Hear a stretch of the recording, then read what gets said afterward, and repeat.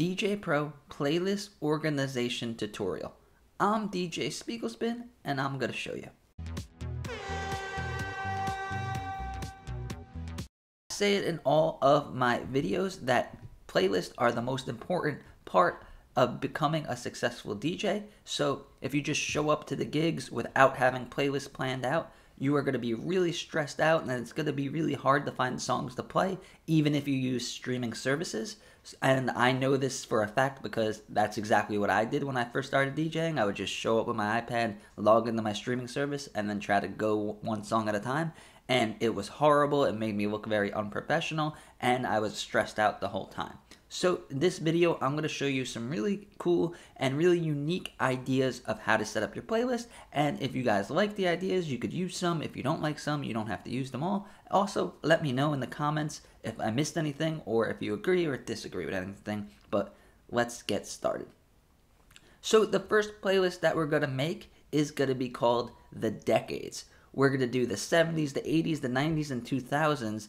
And we're going to, these playlists are going to be organized by the decades. So when you're doing a gig, it's a good idea to know the age range of the people that are going to be there.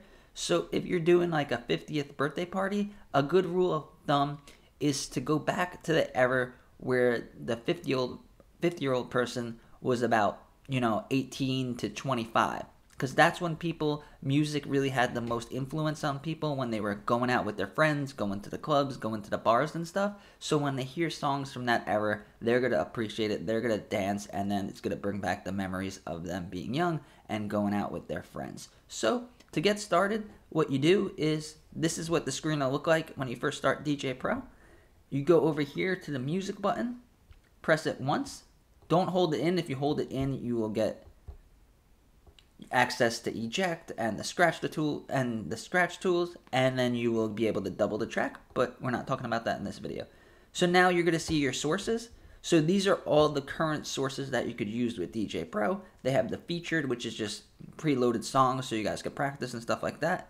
Music is the music that's on your ipad. It is not your apple music streaming service playlist. It's just music that is in on natively do- downloaded on your device. Tidal is the streaming service that I use. It's the I think it's the best streaming service that you could use with this app, so that's the one I use. And then you got SoundCloud, Beatport, BeatSource, and then videos and files. So to make your own custom playlist, we're going to click here on My Collections. So now these are your custom playlists. So then if you look at my, where my mouse is, if you press the plus button right here, you can you could add a playlist, a smart playlist, or a playlist folder. What we are going to do is we're going to do a playlist folder. Basically, that means we can have playlist inside a playlist inside a playlist, and instead of it looking really hard to really unorganized with all of these playlists, especially if you guys are starting fresh with making playlists, it's going to make it so much easier to go through it. So you press plus, playlist folder, and we are going to call this decades. I'm not sure if I spelled that right, but it's fine.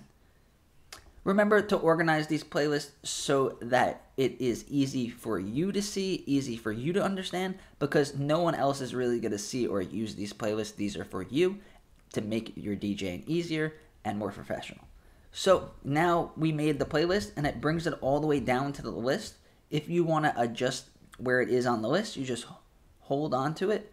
And now to bring it up, you put it towards the top and then it'll start moving. See that? Now it's going to be our first playlist. So now we have decades. So now it's going to ask us when we click it to new playlist. So we are going to add a playlist, another playlist folder. Because not only are we going to add the decades, but we're going to add different types of music in those decades. So we go to playlist folder. And then let's just start with the 90s. So I'm just going to do the 90s and the 2000s. If you guys want, you could go all the way back to the 70s, 60s, whatever you feel comfortable, but it's the same basic principle. So 90s, this is going to be the 90s. Add. So that's the 90s. And then now we could add a new playlist in there if we click it. And then we're going to press plus and then we are going to add another playlist folder for the 2000s. So there we go, the 2000s. right there. So now if we go over here, let's just go to a streaming service. That's in the music. Now we're going to go to my collection, decades. Now we got the 90s and the 2000s. And you can move them and adjust them. Actually, you can't move them, but that's fine. So we got so just make sure when you do it, you do it in order. Don't go from 90s, 2000s, then back to the 70s because this will happen.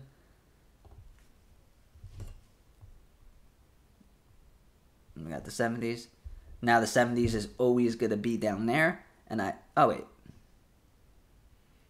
Yeah, so you can change it, so it doesn't really matter. And then to delete it, you just slide it over to the left and you could delete it. So now we got our, our 90s and our 2000s. So now in them, there's nothing. You just have the option to make a new playlist. So 90s, we are to add add a playlist. We're not doing a playlist folder. We're just adding a regular playlist. And then we're to do rap, or if you want to do hip hop.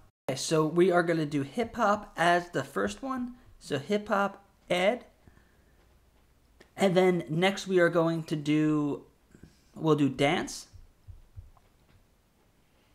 And then next we will do, for example, techno.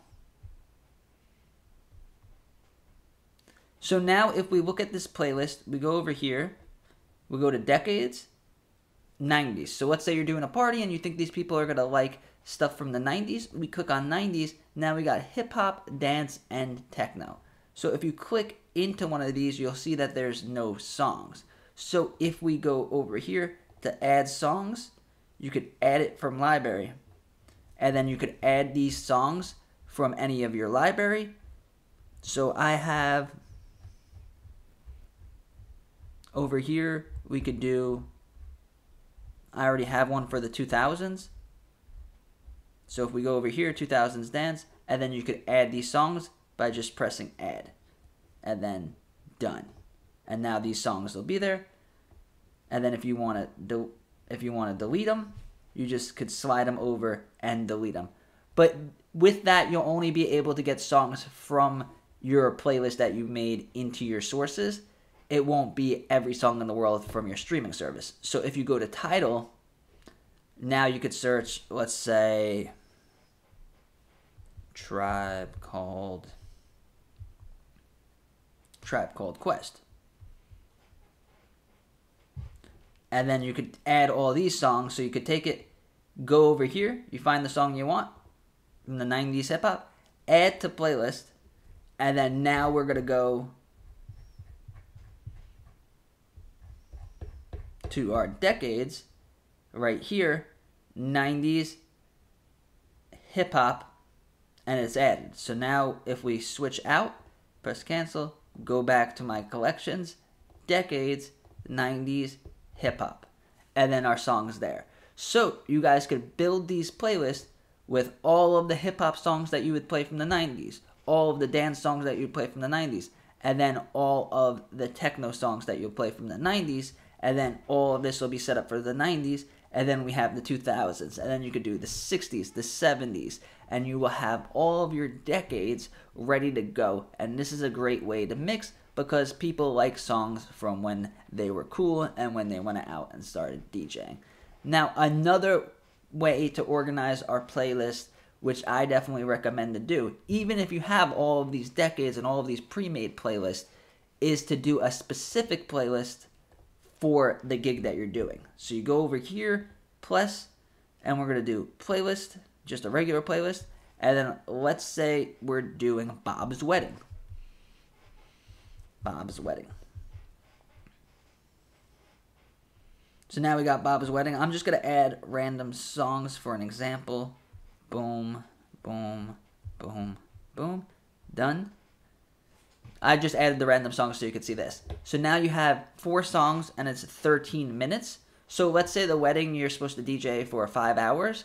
Always have double what it's going to be so you have options and you don't have to play the same exact songs. So if it's a five hour playlist, add songs until it says 10 minutes over here. And then inside these playlists, you could organize them by BPM, key, album artist. I usually do it by the BPM so I could play songs in similar BPMs so they mix well together. Now, another playlist that I definitely recommend you doing is going to be a sound effects one.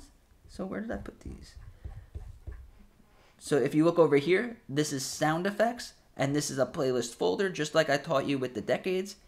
You click in it, and then we have scratching. So these are all the tools that you'd be using for scratching, scratch samples, beats, and stuff to scratch with.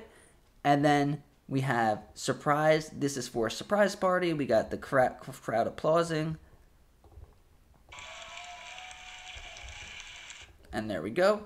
And then the next one in sound effects is the intro.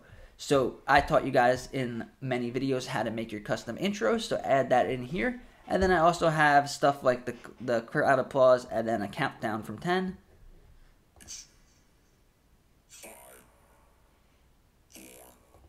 And it just makes it really easy to not have to search for these things to go into your playlist and see we got the decades, we got sound effects, we got instruments. So with instruments, I have some of my wordplay combos, I have police sirens, I have the dog barking, and then you guys could have all of the instruments, whether you want to save it as instruments or save it as sound effects. It's up to you. Remember what I said, this is for you, for your mind. It doesn't have to make sense to anyone else. So if this helped you, if it's gonna make your DJing better, please give this video a like. And if you want to learn more about DJing on the iPad and DJing with djay Pro and different ways of thinking about DJing, subscribe to my channel. I make DJ videos every day.